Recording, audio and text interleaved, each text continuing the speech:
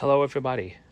In today's video, we're going to make a standalone APRS digipeater powered by solar built into this um, Apache box from Harbor Freight. We're also going to use this SMA to SO239 cable with this solar panel here with this battery as well as some miscellaneous hardware that will all be posted in the link.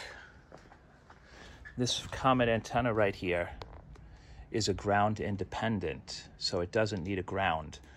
So if you mount one of these SO239 uh, barrels or uh, this cable right here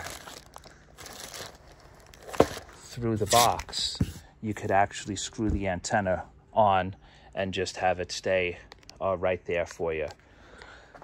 Uh, the solar panel, which was from Amazon, is going to be mounted on the box, and then we'll have the uh, controller and the battery inside, along with the new iGate Mini 2 from CSN Technologies, uh, acting as the uh, digipeater as I uh, do steps to build everything, I'll try and post it and create and add it to the video.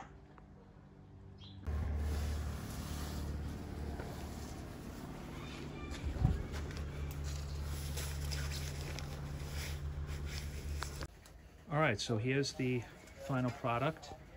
It's built into an Apache case.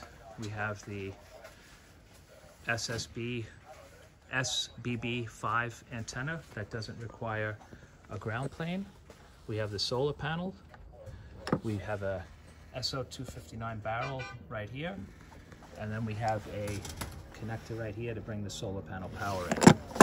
If We open the box inside. We have the battery. We have the solar controller.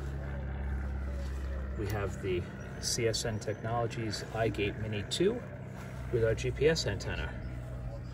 We mounted the solar panel through the top of the box, siliconed it. The barrel connector is right here. And what we can do here is if we need to use